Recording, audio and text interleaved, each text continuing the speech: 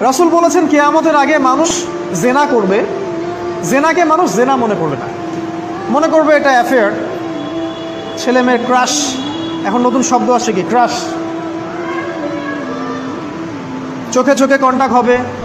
কো এডুকেশনের মাধ্যমে mobile number exchange হবে। রাতের বেলা কথা হবে ফোন হবে। তারপর চা খাবে কফি খাবে। ঘুরবে, আস্তে আস্তে বেড়ে যাবে। তারপরে ব্রেকআপ হয়ে যাবে। তাদের কাছে সিম্পল এটা খুব সিম্পল